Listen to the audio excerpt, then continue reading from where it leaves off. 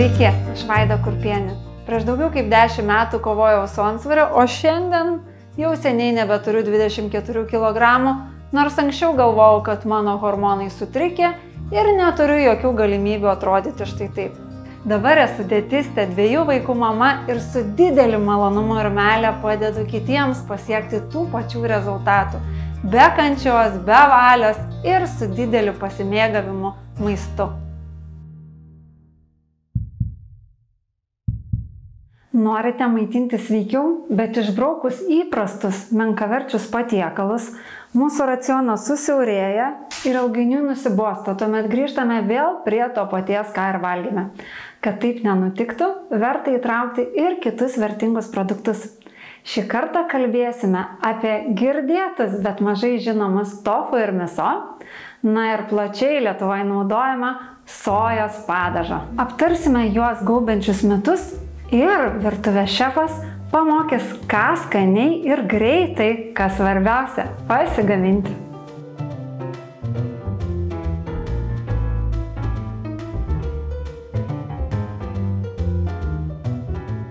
Sojos produktai vertinami ne vienareikšmiškai. Vieni jos labai geria, Dėl mums būtinųjų amino rūgščių buvimo jose, tai yra sojos baltymas yra toks pat, koks yra mėsoje, kiaušinėje ar žuvise o kiti peikia dėl įvairiausių mitų, kuriuos ir aptarsime. Bet kuriuo atveju labiausiai vertintini yra sojos fermentuoti produktai, tai mes šiandien būtent apie tokius ir kalbėsime. Tofu, miso ir sojos padažas. Kaip juos teisingai nusipirkti, pagaminti ir kodėl jie gali būti vertingi ir vartotini mūsų mytyboje. Pirmas mitas. Tai genetiškai modifikuotų produktų baime. Pirmiausia, reikėtų žinoti, kad lietuviai nelinkia pirkti produktų su genetiškai modifikuotais organizmais. Trumpinys GMO. Tai dėl to parduotuvėse jų mažai ir yra. Dabar kaip būti tikriems ir ramiems, nes pasaulyje iš tiesų yra ganėtinai daug genetiškai modifikuotos sojos.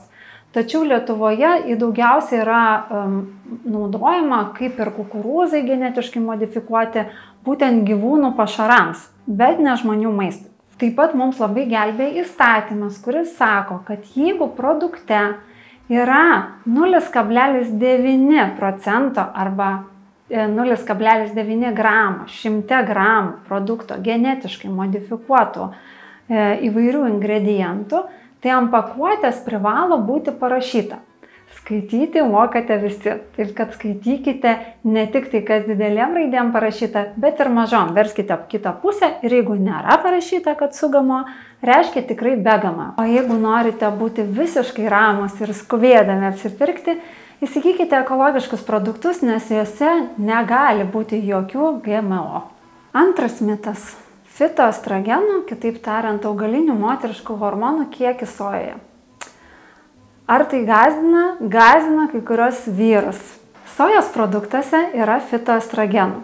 Ir tai yra tiesa. Tačiau tam, kad viršyti kiekį, kurį jau galėtų paveikti mūsų organizmus, reikėtų per dieną valgyti po kelis šimtus gramų tofu ir gerti kelis litrus sojos pieno.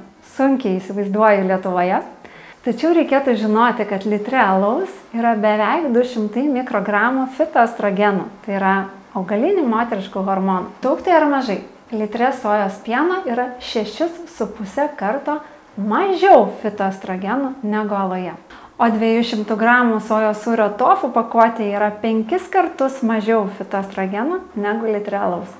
Taip kad prieš pakeldami bogalą labai gerai pagalvokite. Dar mažiau fitoestrogenų yra jaunose sojos pupelėse, kitaip vadinamose adamame pupelėse, tokios Turiu čia ankštis ir jau išlūkštentas. Beje, labai skanias salotas, mano vienas nuostabiausių pastarųjų metų atradimų.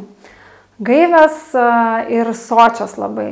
Tai juose visam podelį, jeigu virtų būtų, tai yra tik tai 30 mg fitoestrogenų, tai labai mažas kiekis. Ir šiaip daugiausia fitoestrogenų yra būtent subrendusiose sojos pupelėse Ir kada yra sojos produktai fermentuojami, fitostrogenų kiekis mažėja. Taip, kad fermentuoti produktai geras pasirinkimas, kaip ir jaunos sojos pupelės. Jeigu kalbam apie fitoestrogenus, tai reikėtų žinoti, kad jie yra ir naudingi. Pavyzdžiui, moteriams, kuriuoms yra 40 plus, arba kuriams yra 50 plus, 60 plus. Fitoestrogenai kaip tik padeda palaikyti jaunystę, atitolinti klimakterinį laikotarpį, jį lengviau išgyventi, palaiko stangresnę ir labiau švytinčią odą. Taip, kad vengti sojos nereikėtų, o kaip tik galbūt suvalgyti dažniau negu iki šiol, ar bent jau paragauti. Fitoestrogenų turi ir mūsų kasdien naudojami produktai. Pavyzdžiui, morkos, granatai gal ne kasdien naudojamas, kalendra, sezamo sėklos, linų semenų sėklos, lešiai, pupelės, špinatai, ryžiai, avižos, taip kad spektras ganėtinai didelis. Visų jų valgyti tikrai galima, tik svarbu, kad būtų įvairus maistas ir perdozoti sunkiai įmanoma. Apie metus pakalbėjome, o dabar apie tai, kaip skaniai pasigaminti fermentuotus sojos produktus. Man padės pasaulio virtuvės šefas Jonas Jonušas. Vėliau. Labas. Labas. Tai Jonai, apie kokius metus jūs esat girdėję? Um, aš lietuviam ar savo klientam dažnai sakau tokį dalyką, kad mes labai daug suprantam apie duoną, apie bulves žinom, kas yra labai įdomu, nors perujiečiai daugiau žino apie bulves, bet mes labai daug visko žinom apie tos dalykus ir visiškai nieko nežinom apie soją. Nes e, kai pradedi gilintis, mes neturim e, istorijos, mes neturim kultūros štai vietoje, tai yra aziečikas labai dalykas ir apskritai su visais tokiais va, prieskoniais ar kondimentais iš, iš Azijos žmonės paprasčiausiai jų bijo, o tais mitais apauga, čia daug nereikia. Bet aš galėčiau iš savo patirties pasakyti, kad daugiau bijo ne produktų, o to, kad nežino, ką su juo daryti. Ir būna, kad parsineša namo, pažiūri, pažiūri. Ir pasibaigia galiojimo terminas ir daugiau nebeverka. Panašiai. Ir taip, kad pirkti ir bandyti vairias rušis, tai čia jau tie drąsesni ir pasiryžę atrasti. Ja. Aš sakyčiau, kad kas yra labai svarbu, jeigu mes šnekam apie tofu, sojos pieno sūrį, tai labai svarbu, kad jisai pats išraiškingo skonio kaip ir neturi ir jam Taip. reikia suteikti. Taip. Nes aš pati daug kartų esu girdėjęs, tai paragavau, man nepatiko, bet nepatiko todėl, kad, na, jisai tiesiog labai švelnus. Ir šitoje vietoje aš kada sakau palyginimą, jeigu mes imam pevagarbį, tai mes nesitikim iš jo skonio vaivorykštės. Kad būtų kaip baravykas. Taip, ir mes tada žinom, kad jam reikia tiesiog prieskonių, o jeigu gaminam, gal žipsnelį baravykų ten įverti ir bus visai kaip pusiau baravykas. Tuo tarpu fermentuoti sojos produktai, tai kaip tik jie turi labai daug intensyvaus skonio. Taip ir gali labai praturtinti mūsų mytybą ir beje Taip. yra labai vertingi ir sveiki ir net mūsų žarnyną pagerinti, bet apie tai mes dar pašnekėsim. Tai o Jonai, ką jūs pats labiausiai iš sojos produktų mėgstat? Daug visada turiu Visada turiu sojos padažo kaip po tokio. Tiesiog jis tinka prie labai daug visokiausių patiekalų, azijietiškų, kinietiškų. Miso turiu, bet rečiau jį naudoju, bet yra jo pas mane šaldytuvė, netgi dabar. E, pačio tofu kaip po tokio, aš jį labiau, mažiau mėgstu ir praktiškai beveik niekada neturiu šaldytuvė, nebent sugalvoju kažką su tuo gaminti, bet tai dažniausiai būna arba per renginius, e, kai užsisako kažką tai tokio, bet pakankamai retai, nes žmonės tiesiog jo ne tai, kad vengia, bet e, nesupranta gal. Ai, nežinau, tai po šitos laidos žinos, o aš kaip tik tofu turiu visada namuose ir, ir minkštą, ir kietą, apie juos dar papasakosiu. Ir mano dukra, kai buvo dviejų metų, mes grįžtam namo ir auklė sako, jinai prašo visą dieną kažko, nes jinai dar tik tai mažai, kas tas fu? Sakau, nesupratau, rodo į šaldytuvą ir sako, tą fu man duok. Dafu, tai mano dukrai e, visiškai nereikia jokių pagardų e, sojai. Nu, vaikai taip valgo. Sojos sūriui ir jinai tiesiog pasipjausto ir jį valgo, jai tiesiog yra skanu, bet galbūt čia dėl to, kad įprasta ir mūsų namuose visada yra. Aišku, sojos padažai irgi. O su miso man kartai įvyko kulinarinė katastrofa. Norėjau, kulinarinis stebuklas? Ne, kulinarinė katastrofa įvyko ir aš dabar labai laukiau jūsų, kad jūs man parodytumėt, kurį panaudoti. Okay ir galėčiau vėl prie jo grįžti, nes vietose, kur gamina, pavyzdžiui, mėsos rūbą, visada valgau. Gerai, tai ką šiandien gaminsim? Jo, mes padarysim tokius labai nesudėtingus patiekalus, tai su soja mes darysim karamelizuotus svagūnus, darysime baklažanus glazuruotus su miso ir taip pat iš tofu darysime tokį veganišką saldėsį, sakykime, desertą pyragą. Na ir kai kurie iš šitų patekalų, kai aš išgirdau, sakiau, Jonai, negamins, nes neskama labai sveikai, bet Jonas mane patikino, kad bus tikrai gerai ir net parodys, kaip, kokios yra klaidos daromos ir patekalai šitie sugadinami. Taip kad žiūrėkit toliau, kas bus. Miso. Miso tai yra fermentuotas produktas iš sojos pupelių ir grūdų. Kartais skirtingom proporcijom maišytas. Ir jo nauda yra visokiojopa. Labai daug B grupės vitaminų skatina mūsų žarninę B12 vitamino gamybą. Folio rūkšties jame yra, taip pat vitaminų K, E ir įvairiausių mineralų. E, daugybė yra gerųjų bakterijų. Mes nuolat šnekam apie fermentuotus produktus ir kai šnekam, tai dažniausiai sakom rauginti kopūstai, kuriuos reikėtų valgyti po truputėlį dažnai, tai vad galit paivairinti ir kitokiais produktais, pavyzdžiui, miso pastą. Kalbant apie miso, tai jo būna įvairus, nuo švelniai saldaus skonio, salso skonio iki tokio labai intensyvaus suraus skonio. E, kaip suprantu, ar aš teisingai suprantu, kad tai labai priklauso nuo fermentacijos trukmės? Nuo fermentacijos nuo trukmės dalykų? ir e, grinam pavydėlė rūdas, pavyzdžiui, miso dažniausiai būna e, ilgiau fermentuotas ir tai būna daroma vien tik iš sojų, nededant, pavyzdžiui, papildomai ryžių. Baltas miso būna pridėta ryžių arba ten kažkokių kitokių grūdų ir tada kodžiai, tai tų gerųjų bakterijų, kurios išskaido visą tą, tą medžiagą. Kitas dalykas yra laikas, per kurį tai įvyksta. Sakykime, sakykime, japonai naudoja medinės bačkas, kurios ten labai senos, po 150 metų iš kedro medžio ir labai brangios ten specialūs akmenys. Nu, jie turi visą tą tokį stebuklingą procesą, kur kiekvienas žmogus daro ten, žodžiu, labai jie ten nužiūri kaip į kažkokį didžiulį meną. Ir, Bet tada ir tam tikra mikroflora tenai susikūrė. Būtent, ir jie laiko ten tiek e, žiemą, tiek vasarą, kad gautų, dėl to, kad žiemą tas dalykas susitraukia, vasarą jis išsiplečia, žodžiu, gyvena, jis įkvepuoja, ten temperatūriniai režimai. Tu prasme, visas mokslas procesas, kurio mes, sakykime, galime tik tai paragauti. o pamatyti to proceso kaip ir ne, nespėjom, nors jis, manau, būtų labai įdomus. Gal ir gerai, kad 12 e, mėnesių ar daugiau nereikia laukti, ja. o galima atsidaryti pakuoti ir paragauti. Ja, ja. Ir mėso yra šviesus, geltonas, raudonas ir tamsus. Ir ne tik, dar, pavyzdžiui, toje pačioje Japonijoje priklauso iš kokio regiono. Ta prasme, jeigu yra kažkoks konkretus regionas, vėlgi pagal tą, kaip kokie nors prancūziški sūriai, atrodo, kas yra sūris, ar ne, ten trys kokie ingredientai, bet realiai jie skiriasi. Dėl to, kad arba ispanai kažkokiose uolose užaugina, nu, ta prasme, brandina sūrį ir jis įgauna kitokį skonį. Tai Japonijoje yra tas pats. Dėl to, kad mūsų ta um, aplinka skiriasi ir pas juos irgi skiriasi šiek tiek. Ir kas buvo labai įdomu, tarkim, vienoje vietoje geografiškai buvo viena vieta, kur darydavo tamsų miso, kur žmonės keliaudavo iš Kyoto į Tokijo ir tiesiog pakeliui sustodavo susišildyti, grubiai kalbant, ir tiesiog valgydavo tą sriubą su miso ir tai patapo labai populiaru. Ir būtent tas brandas, pavadinkim, išgarsėjus jau kokį 500 metų, būtent iš tos lokacijos yra būtent tas miso ir jis turi savo unikalų tam pavadinimą ir taip toliau. Tai, tai, tai čia jau pažengsim. o dabar e, įprastai, jeigu siūlytumėt e, žmogui nuo kažkurio pradėti, kadangi jų skoniai labai stipriai skiriasi, tai nuo kurio rekomenduotumėt pradėti?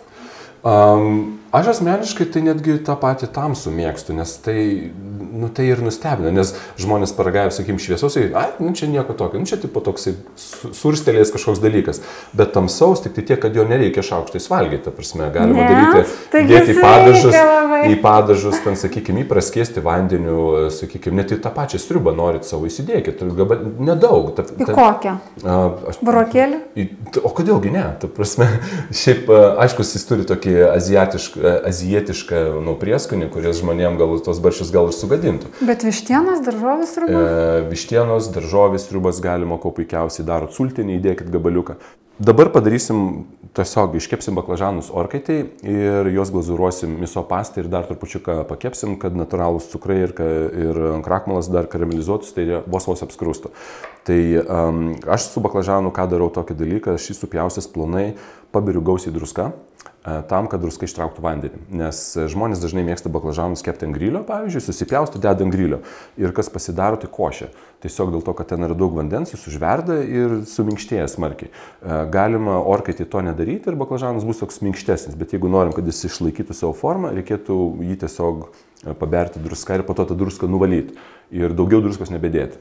O kiti daro taip, kad jis stipriai sudėtą vandenį įdeda e, baklažaną. E, jo, e, druska tiesiog turi tokį dalyką, jinai tas tą vandenį pritraukia, pavadinkim taip, ir baklažaną po to reikia tiesiog net išsunkti galima, kaip aš sakau, žmonės tom net, net, jo, jo, mes pasidarom didžiulę skardą baklažanų, užpilam druską, žmonės sako, čia tiek daug, tai po to mes dvi stiklinės vandens išpilam, jie nesupranta, iš kur tas vanduo atsirado, sakau, iš to baklažano. Bet tai yra tik dėl, dėl patiekalo atrodymų. Pavyzdžiui, kokia nors Izraelija, ten Palestinoje, tai jie mėgsta tiesiog subado tą baklažaną ir visą jo orkaitę. Tai mes tada, irgi taip kepam. Ir gaunas baba ganuš, tai tiesiog mhm. jisai, kad nesproktų. tai va, tai aš dabar jį tiesiog susipjaustysiu ir mes jį kepsim orkaitai ir po to tepsim miso pastą. Gerai.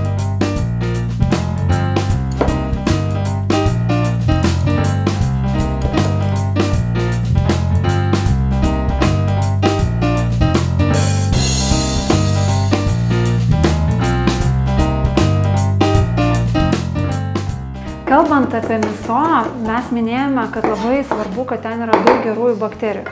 Tai reiškia, kad miso yra vertingiausias, kai jis yra nepasterizuotas, tai yra bakterijos išlikusios gyvos. Ir nepasterizuota miso, kada atidarot pakuotę, būtina dėti į šaldytuvą ir stebėti, kad per ilgai neužsigulėtų, taip kad reikia rasti įvairesnių receptų, ką pagaminti arba pagaminti daugiau ir pasikviesti svečių. Ką mes čia dabar darom? Biški česnako skaniai kvepia. Jo, iš karto duoda skonio. Ja. Tai e, miso, kuris vadinasi... Hačio. Hačio. Ja, Man turėsit su japoniškais pavadinimais padėti. Mm. Tai šitas yra tradicinis. Tas tradicinis Hačio yra kaimelio pavadinimas, kuris dabar jau tapo um, miest, miestu. Tai jisai visą gyvenimą buvo tas kaimelis ten ir būtent tą miso darydavo pakeliui iš Kyoto į uh, Tokijo. Tai jos skonis pats intensyviausias? Jis yra, yra labai intensyvus, uh, toks turėtų būti, tai pažiūrėsim. tai um, ir jis yra tam tikro vat, regiono ir jis yra nemaišytas su jokiais grūdais, jis yra grinas uh, tiesiog iš sojos. Tik sojos. Kai kurie miso gali būti maišyti ir su kviečiais fermentuojant. Tai tokių negali vartoti tie, kurie netoleruoja gluteno. Tuo tarpu glitimo netoleruojantis šitą, mm. tai yra hačio. so hačio, gali vartoti drąsiai. Taip kad nereikia eliminuoti visų produktų, reikia domėtis ir tada mūsų mm. racionas paįvairėja. Aš jį maišysiu šiek tiek su vandeniu, pasidarysiu glazūrą ir po to tiesiog užtepsiu ant baklažanų. Labai mm -hmm. paprastai, žinai. O kokiu santykiu reikia maišyti su vandeniu? Uh, šitas yra, kadangi intensyvus, būtų geriausiai, sakykim, turim vieną baklažaną, tai grubiai pusė stiklinės vandens ir mažą arbatinį šaukštelį miso. Tai aš jau pradariau šitos pastas. Mm, Mm, kaip skaniai kvepia, man kaip slyvom. Malasų tokių, kažkas tokio. Jo, džiovintos slyvas visiškai. Ir šiek tiek česnako nuo mano rankų dar. Noriu, kad intensyviau būtų. Šaukštelė. Ir, ir tiesiog, šilto vandens užpilti. Ir paprasto šalto vandens jo. Gerai, tai dabar pilu. Ne, užteks. Mm. Man negaila. Ištirps ir, sakykime, turėsim tokią šaltą mėsos sriubą ir iš to pasidarysim glazūrą. Čia už kadrą nesimatė, bet operatorė, kai pavastė, tai jisai, oh, kaip skaniai kvepia. Nu tikrai fantastika. Man jau ir valgyti nebereikia. Sėdžiu, uostau ir gerai. Ja. Aš esu valgys mūsų orgaminus, bet taip skaniai nekvepėjom. Aš mm. tikrai kažkokį kitą. Mm. Aš žinau, kad dukra grįš iš mokyklos ir tikrai ateis pagal kvapą į virtuvę, nes mėgstu visus japoniškus dalykus. Mm.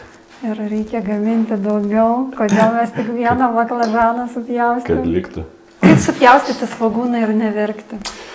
A, yra pora metodų, kaip tai reikėtų daryti. A, iš tikrųjų, tai... Pavyzdžiui, aš labai gerą žinau. Mm. Duoti svečius. Šis neblogas.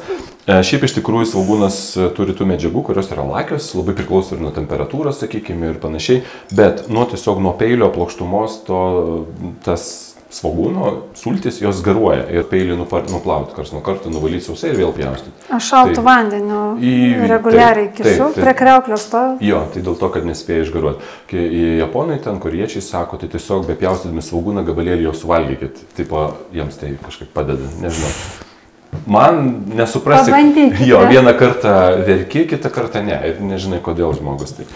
Tai va, aš noriu pjaustyti svagūną šitaip, e, nupjaunam tą nosį, kaip aš sakau, bet nenupjaunam šaknelės. Nes kas įvyksta, tai tiesiog ta šaknelė mums visą jį prilaiko. Ką aš dabar noriu padaryti, tai supjaustyti tiesiog tokiom plonom juostelėm, tam, kad e, jis laikytųsi ir būtų tokios, nu, tiesiog tokia forma. Nesmulkiai ir kad po to nesudegtų. O raudonas svagūna, kodėl man? Um, tiesiog kita rušis, man patinka spalva, man patinka jos skonis. Čia, nežinau, nėra kažkokio mokslo šitoje vietoje. Yra tiesa. Aš mokslą galiu pasakyti. Pasakykit, man labai įdomu, kol aš pjaustysiu.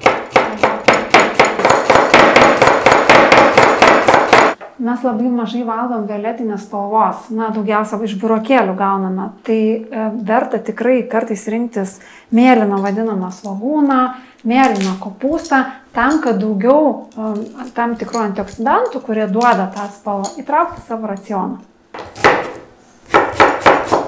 Va, ir Taip. mūsų svagūnas yra vat, toksai susikibęs ir su tokiais plaušeliais ir jis tada nepasileidžia ir jie tiesiog, kai maišom, neatsiskeria ir ties plonos dalis nesudega tiesiog. Va. Ką dabar darysim? Tai mes dabar tiesiog su ta savo miso pasta iš, ištirpinta patepsim, pašlakstysim tos klažanus ir dėsim dar ant um, ant aukštesnės temperatūros, kad apskrustų gražiai. Prieš tai mes buvom baklažanus įdėję kepti ant 180 laipsnių ir pašlakstėm sezamo aliejim bei česnakais. O jeigu neturi sezamo aliejus? Um, tiesiog kepimo eilėje aš naudočiau alyvogio aliejų, ne, ne, lydytas nebijau. Sviestas? Lydytas sviestas irgi puikiai tiktų. Šiaip tai galima net ir keptuviai tą dalyką daryti.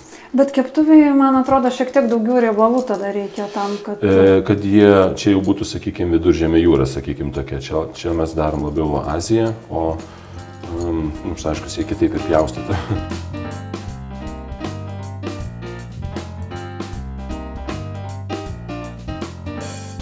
įkaitinam keptuvę, angį sviesto, tiesiog tirpinto sviesto riebalų. Lydytas sviestas yra visiškai lietuviškas nacionalinis produktas, kurį mūsų močiutės naudoja. Ir dabar visi žino gyjį sviestą, kuris atkeliavo iš rytų, jo. o jisai atkeliavęs yra iš mūsų močiučių. Kepam.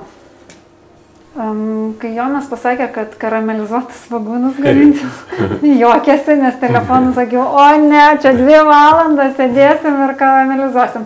Tai Jonas pažadėjo labai greitai padaryti. Jo. Um, su karamelizacija yra toksai dalykas. Karamelizacija, pavadinkim, ar galiu sakyti cukraus oksidacija? Drąsiai. cukraus oksidacija, tai paprasčiausiai kas vyksta, tai išgaruoja vanduo ir atsiranda daugiau anglės. Pavadinkim, tai dėl to mūsų maistas pradeda juoduoti, ar ne? Ir tam tikram e, taške tai yra tiesiog, to pasidaro karamelė, grubiai kalbant, ir žmonėms tai yra tiesiog skanu. Nesaldu. Jo, esmė tame, kad e, svagūnai turi patys savyje cukraus ir ko mums reikia, mums tiesiog reikia temperatūros arba aukštos temperatūros, bet kad nesudegintumėm, arba žemesnės temperatūros ilgesniam laikui, kad padaryti tą, sakykime, svagūnų uogienę. Tai jeigu mes labai ilgai laikysim tos svagūnus, virsim juos savo sultise arba svieste arba riebaluose, tai išgaros vanduo ir jie po, trupučiuką karamelizuosis. Aš ką noriu e, greičiau tą padaryti procesą, tai tiesiog juos ant aukštos temperatūros paskrudinti, pavadinkim taip, jie spės gauti tos karamelizacijos iš išorės, viduje dar liks minkšti, bet jie nu, suskrudės svagūnai bus. Ir tada sumažinam temperatūrą ir pilom sojos padažą. Kancerogenai ir sudegimas yra taip šalia. Tai va tą nesudeginti yra labai labai svarbu. Aukšta temperatūra ir ta karamelizacija yra skanu, bet iki tam tikros, tam tikros ribos. ribos. Į tofą ir miso rečiau atsiduria mūsų virtuvėse, tai sojos padažo turi tikriausiai dažnas. Tik tiek, kad jisai gali būti naudojamas ne tik tai rytietiškam patekalam, bet ir rytiniai grūdų košiai, pavyzdžiui, grikiams pagardinti. Arba įprastoms mūsų salotoms - lapai, pomidorai, agurkai, taip pat morkų salotoms sumaišom morkas, šiaudeliais tarkuotais, agurkus, pabarstam sezamo sėklų, užpilam šiek tiek sojos padažo, jeigu jis intensyvaus skonio arba morkų daug, tai galima pamaišyti su vandeniu ir ypač tas patarimas labai yra geras, kada žiemą arba pavasarį morkos yra sausesnės, Ir tada tas vanduo su sojos padažu įsigeria, jos tampa traškios, skanios ir stebuklingas skonio. Sojos padažas žinomas maždaug apie 2000 metų ir tradicinė jo gamyba išliko tokia pati iki mūsų dienų. Tradicinėme sojos padaže tik tai keturi ingredientai. Tai vanduo, soja, kviečiai ir druska. Tačiau sojos padažo fermentacija vyksta mėnesį. E, ką tai reiškia, kad jeigu norima pagaminti pigų padažą, tai yra per ilgas laiko tarpas ir gamintojai sugalvoja, kaip tą terminą sutrumpinti naudodami įvairiausius cheminius priedus. Tai matom, svagūnai jie apskurdo šiek tiek, ar ne? Ir mes paprasčiausiai ant jų pilam sojos padažą. Taip, o kiek jo reikia? Kad apsemtų. Mhm. Tai pilam, kad apsemtų, taip? Jo, pilam, kad apsemtų. Dabar kas vyksta, tai tiesiog išgaruoja vanduo E, svagūnų karamelizacija, cukrus, kuris yra natūraliai juose, jau yra padegęs, rišasi su tais visais skaniais dalykais, kurie yra sojoje. Ir iš principo suklampėjus tam skyščiui mes galim tos svagūnus traukti lauk. Yep. Viskas? Jo, that's, that's it. Šiek tiek. Kad nu, nebebūtų tų burbulių, kad tiesiog vanduo išgaruoja ir visas jau. E, šitas tiktų su įvairiais grūdais, taip? Taip pat galima dėti, žinau, ant, galima uždėti net ir angrikių košės, jeigu norisi, arba kokiuose garuose virtos, laš, nu, apdorotos lašišos, tarkim, ant viršaus pagardinti irgi puikiausiai tinka. O šitą reikėtų dėti ant lašišos, kuri dar gaminasi garose? Jau, jau patiekiant. Jau patiekiant. Jau patiekiant. Tai, sakykime, gaunas toks kaip kondimentas, sakykime, karameliz... nu, nėra visai kaip uogienė, bet jie yra labai skanus. Tai dabar traukiam ir žiūrim, kas gavosi. Jau, žiūrim, kas gavosi. Ištraukiam baklažanas. Jie yra labai fainai išvirė ir iškepę. Ir ką padariau, tos pačios pastos, tik su dar mažiau vandens Dar galima trupučiuką pasiskaninti ekstra, užsidėti vieną kitą lašelį, papuošti mūsų patiekalą. Ir taip. kaip jį valgyti? Jo, e, dabar su valgymu yra taip. E, jį, jeigu, pavyzdžiui, būčiau nors, vėl japonas, mes šiandien visą tas Azijos turim nemažai, bet e, aš supjauščiau juostelėm ir dėčiau ant ryžių ant tų pačių rudų ryžių ar ant kažkokių daržovių netgi. Tai ko puikiausiai tinka jo, ne japonui. Puikiai tinka ne japonam, baklažanus žmonės pas mus irgi mėgsta. mėgsta. Ja. Ką galima dar pasidaryti, juos galima atšaldyti. Ir juos mhm. turėti kaip šaldytą. Šaldytuvę. Tiesiog šaldytuvę atsišaldyti juos ir juos galima po to užsidėti ant savoto ar ant kažkokius ribų pagardinti, nes... Mažesniais gabalėliais. Jo, mažesniais gabalėliais, nes jie turi kepintą česnako, turi pačios daržovės ir turi miso, kurie turi labai daug skonio ir umami ir panašiai. Tiesiog gali irgi gautis kaip pagardas bet, visokiem kitokiem patiekalam. Sojos padažą gamybai pagreitinti yra naudojamos įvairios rūkštis, kurios pagreitina sojos rūkštinę hidrolizę ir tada jau procesui pasibaigus e, arba jam besibaigiant e, pilamas šarmas ir tada procesas daug labiau sutrumpėja. Kaip tai atsispindi sudėtinėse dalise, tai tikrai atsispindi ten nebe keturios dalis, o daugiau. Taip, kad jeigu reikės sužinoti, ar natūraliai fermentuotas sojos padažas ar ne, verskit kitą pusę ir žiūrėkit, kokie yra ingredientai. Keturi ar daugiau. Tiesa, kai kuriuose ir natūraliuose sojos padažuose gali būti daugiau ingredientų, bet tada tai yra, na, įvairūs prieskoniai, kurių žodžius tikrai suprasite, kas ten parašyta. Taip pat sojos padažuose gali būti ir pridėtinio cukraus. Ypač dažnai toks sojos padažas yra na, skirtas sušiams. Gam, prie sušių ragauti, gaminti, net būna paveikslėlis sušių nupaišytas. Tai vėlgi verčiat, verčiat kitą pusę ir žiūrit. O šiandien mes patikalam gaminti naudojam senoviniu būdu fermentuotą tamari sojos padažą. Tofu, kaip minėjom, yra blankoko skonio, reikia jį išmokti gaminti.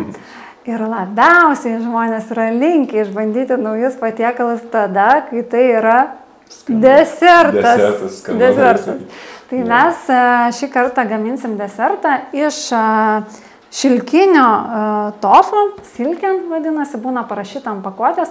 Aš šiaip tai šitą tofu uh, dažnai naudoju visai ne desertam, o padažui pagaminti. Mm. Labai tokia kreminė tekstūra gaunasi.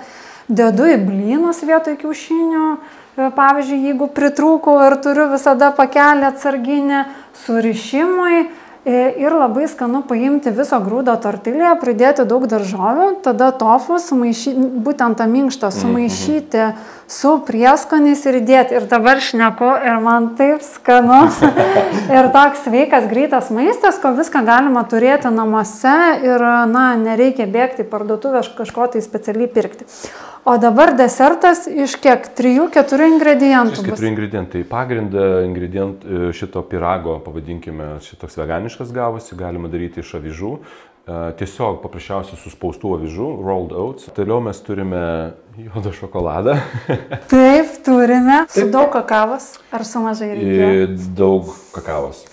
Čia yra dripsniai, kuriuos specialiai nusipirkau. Namuose turėjau žemės rašutų sviesto be pridėtinio cukraus be, ir be palmių aliejos. Ačiū Taip. labai. Ir naudosime minkštą tofu. Minkštą tofu, e, kuris būna e, šiek tiek savo e, sultėse, pavadinkime, turi vandens, ne kažkokio tai, priklausomai nuo to, ką mes darom, jį galima išsaugoti arba nupilti, arba, arba tiesiog, nu, žinot, kad jis tenais yra, tai viso nesupilti. Jonas norėjo paslapčia nupilti Ir jums to neparodyti. Ir to neparodyti, tai žodžiu, Jonai, sustok. Yeah. Ir dabar mes sustojam ir parodom, nupilam. Šiek tiek va yra šito vandens, tai mes tiesiog jį gražiai nuvarvinam, kad jis nepakliūtų mums, nebūtų perskystas mūsų tas mišinys. O kada būna kietas tofu, tai jį kiti paima tarp popierinio rankšluoščio, suspaudžia. Yeah prislėgia šiek tiek irgi tas vanduo iškeliauja ir tada kepantis, na, daug malonesnė tekstūra ir labelė gaunasi. Taip. Tai nusunkti pirmą žingsnį. Jo, nusunkim. Tai dabar mes galim pirmą pasidaryti pagrindą. Pagrindą padarysim labai paprastai tiesiog iš tų avižų, sumaišydami su e, žemės raštų sviestu ir suspausdami. Mes to pirago nekepsim, mes jį tiesiog šaldysim. Tai dedam to riešutų sviesto. Čia galima labai norint dar pasisaldinti agavos sirupu ar kažkokiais dalykais, bet nebūtina. Juodas šokoladas, tiesiog užsiverdam labai nedaug vandens. O mes įpylėm čia vandens? Jo, įpylėm vandens, užverdam podė vandens, kažkoks indas ir ištirpinam šitą šokoladą. Tai čia įdėjom 100 gramų šokolado. Taip. Ar ne? Jau pasvėriau. Jau tai. pasvėriau. E, tofu pas mus buvo... Taip, pažiūrėsim. Jo, čia 300 gramų. Tai turime mes uh, uh, savo tofu dėsime ten riešutų sviesto. Ir, ir į tofų dėsime. Jo. Tai riešutų sviesto dėjom ir į pagrindą. Jo, tiesiog, kad sulipintų pagrindą, bet dėsime dar ten ir dabar dedam dar šokoladą. Jisai yra šiek tiek karštas, tai reikia vos vos atvėsti, nu, kad jis nesustinktų, bet kad vos vos atvėstų, kad nebūtų toks karštas ir tada sumaišysim.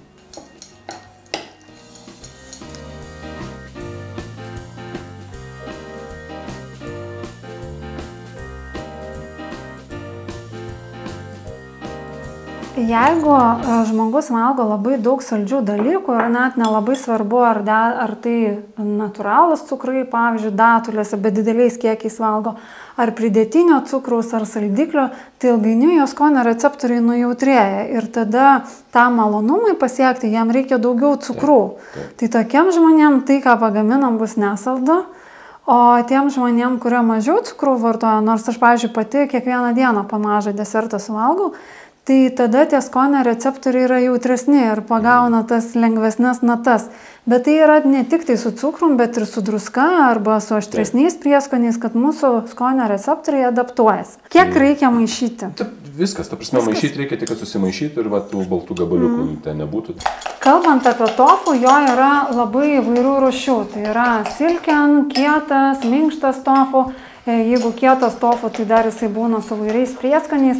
Ir tam, kad e, pasigamintumėm skaniai, reikia žinoti, kam kokios tofo rūšis, kuriems patiekalam yra naudojamos. Tai silkian arba tas šilkinis tofu yra naudojamas padažam, desertam, surišimui, na, tokiem patiekalam. Jo. Minkštas yra naudojamas kam? Daugiausiai desertam tokiem. Ta prasme, čia, sakykim, labiau toks veganų mėgstamas dalykas, kurie deda vietoj to, kad grėtinėlė, grėtinė, va.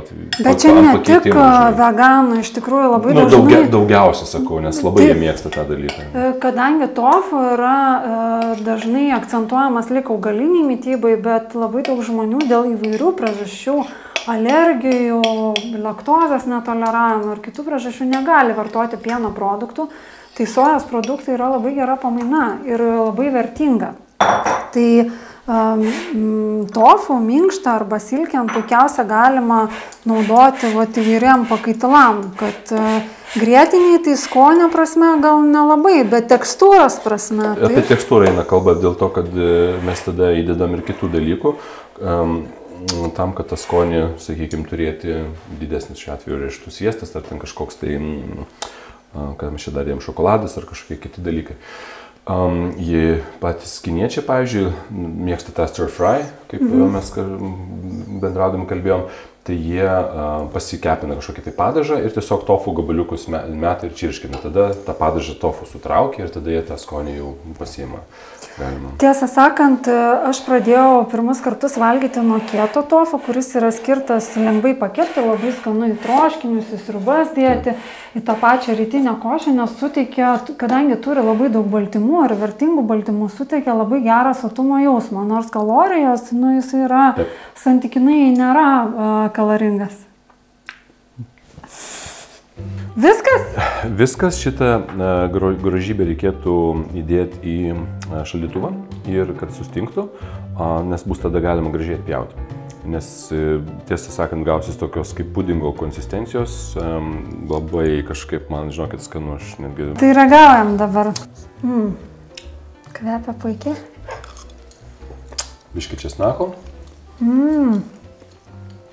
Labai skanu būtų ir ant sumuštinio. Jo, tapas toks kažkas tai tokio. Mhm. Tai nebūtinai tapas, man atrodo, mhm. labai dėrėtų šiek tiek, kad yra lyvogio aliejus ant duonos ir Taip, šitą užsidėti. Sutinku, visiškai sutinku. Mm. Labai geras. Aš maštin. noriu šitos reakcijos. Ta prasme, karamelizuoti svagūnai per 15 minučių. Pirmiausia, pavastam. Kvepia saldžiai. Nu. Ta prasme, nu. labai lengva, labai lengva padaryti. Ir, um, ir visiškai. Man atrodo, puikiai. su vištiena labai skanu būtų gabaliukais truputėlį vištieną pakeisti. Jo, jį, aš ant lašišos sakau labai, mano draugė irgi labai patinka. Tiesiog ant lašišos sakau, ar bus tu svagūnų. tai um, ir ant košės. Mhm. Ant košės, ant salotų. Ir netgi ant tų pačių baklažanų dar uždėjus, nes šiek tiek tokie ir surumo, ir saldumo turi. Nors mes čia nieko saldaus nedėjom visiškai. Čia mhm. nėra negabalėlio pridėta nieko. Dar nesušalo, bet skonisgi vis tiek. Čia jau labai mhm. saldu. Labai saldžiai kvepia. Nors nieko nedėjom. Mm, šokoladą nu, dėjom, nu, nepamirškime. Iš tikrųjų, dėjom mažiau negu 100 gramų dėl to, kad liko daug ant senelių. Tai reikia, kad šalia būtų vaikai ir su piščiukais. Na, nu, panašiai, jo, jo. Tai. Mm, labai skanu. Nu.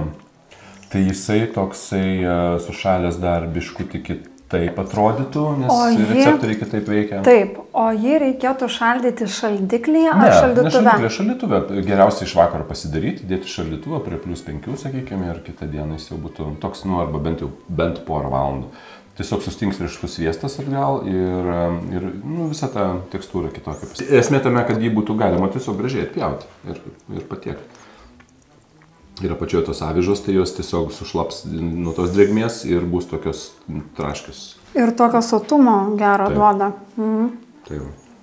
Labai geras desertas, kurį pagaminam per penkias minutės. Nu, realiai jo. Ir kepti nereikia.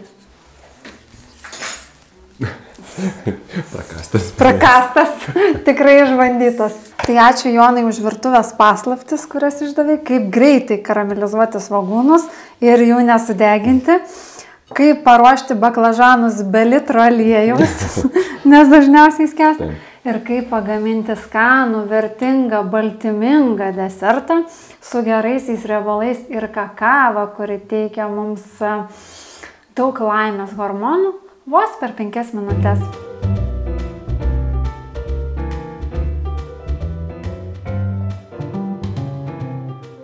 Karamelizuotėm svagūnam gaminti naudojame tradiciniu būdu pagamintą sojos padažą tamarį, kurį galima įsigyti Livin parduotuvėje, taip pat kaip ir tofu, kurį mes naudojame ir daugybę kitų produktų, ką šiandien dėjome į patiekalus.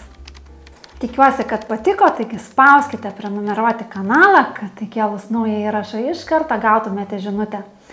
Komentarus rašykite, klauskite, siūlykite temas ateičiai. Na, o daugiau informacijos apie sveiką mytybą, lėknėjimą ir sveikų receptų rasite mano puslapyje www.suleknėk.lt. Ačiū Jums, kad žiūrėjote.